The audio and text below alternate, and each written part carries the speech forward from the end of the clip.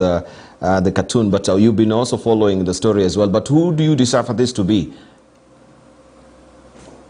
Um, uh, Dr. Mustafa made me uh, mention the eyes, and I think that is uh, quite an interesting angle to look at this. Uh, and they are beady eyes. yeah, the big eyes, and his speculation about Mudavadi.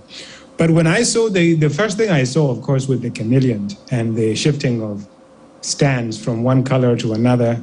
And this, of course, uh, I know uh, my friend Hashi uh, doesn't like me talking about this thing, but it reminded me of his good friend uh, Kalonzo. Mm-hmm. Um, I've been saying for quite some time now how Kalonzo has always shifted from one stand to another.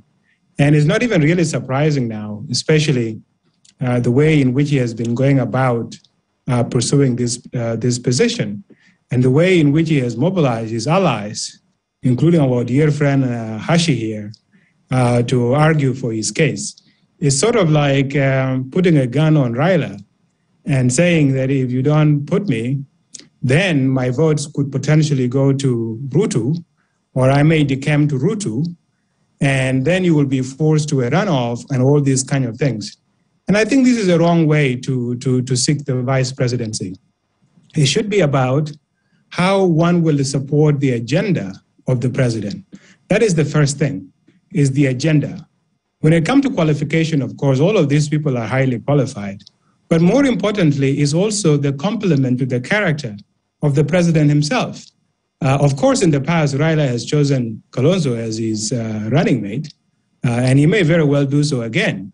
Uh, but I think also this is something that he should reflect very heavily on, because we have talked about how the Kenyan politics is personalized and divided into this camp and is very shallow when it comes to uh, ideologies and, and policy platform.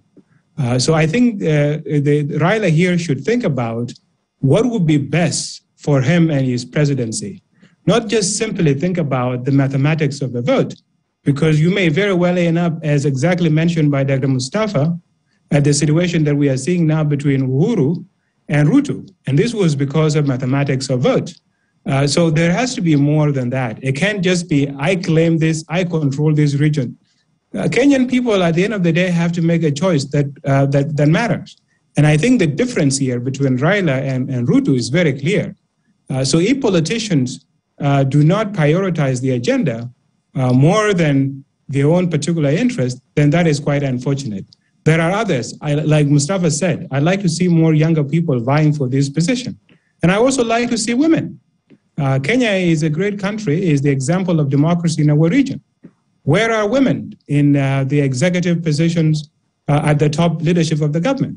So perhaps it's about time uh, that Kenya should have also a woman, a woman who is a, a vice president. Indeed, indeed. Right. Ahmed Hashi, you wanted to respond? Yes.